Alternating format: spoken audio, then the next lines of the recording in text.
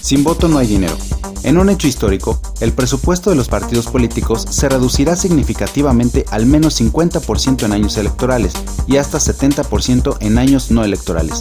El Congreso de Jalisco aprobó la iniciativa para que se recibiera un financiamiento de acuerdo con el número de votos registrados en las elecciones y no según la cantidad de personas registradas en el padrón electoral como lo explicó el diputado Pedro Kumamoto en Jalisco.